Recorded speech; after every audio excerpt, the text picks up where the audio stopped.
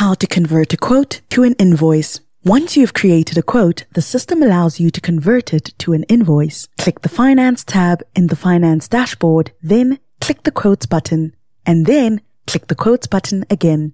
Select the quote you want to convert, and then click the arrow icon on the right-hand side of the Amount column, which is the Convert this quote to an invoice button. A pop-up will ask you to confirm that you want to convert your quote into an invoice, then click the Yes button. A tax invoice for your quote will now appear.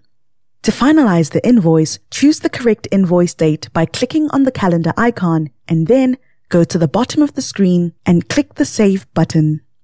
Your invoice will now appear in your list of invoices with not finalized displayed as the invoice number.